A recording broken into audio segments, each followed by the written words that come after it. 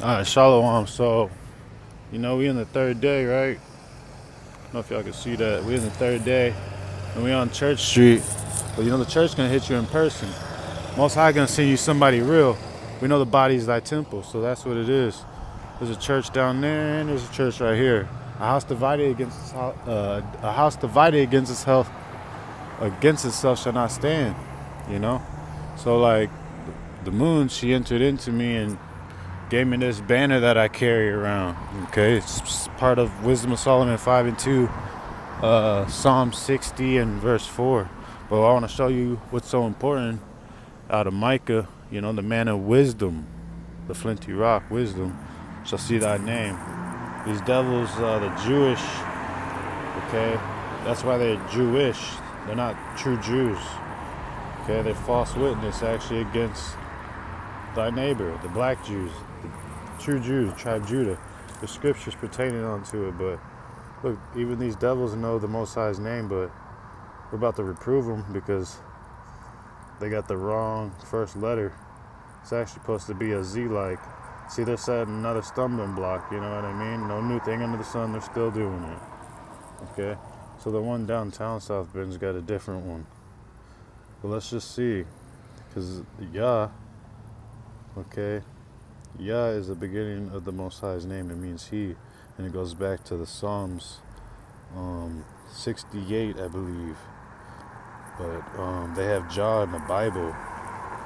So this is Shah, okay, I, or actually that's Qua, and uh, there's I. So they they've got some uh, incorrections here, and they got you know, Ka, the Wa.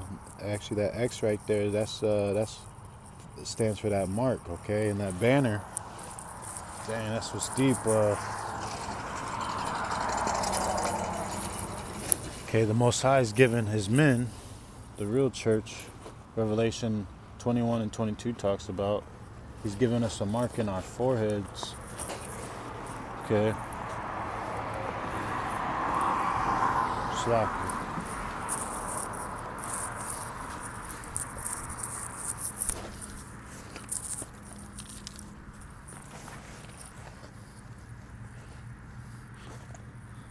So he's given us a a mark in our foreheads.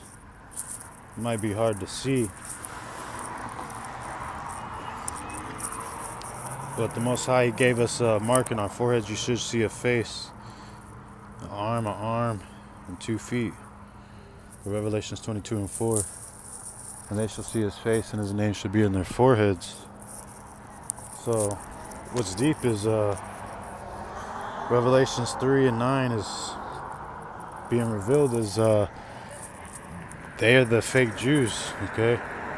Revelations 13 is basically being revealed. But, uh, I don't know, I was going to ask these people. Mm,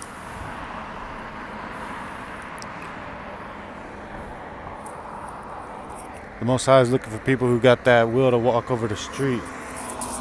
Uh, but doubt it.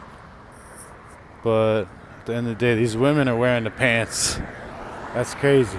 Uh, but the church,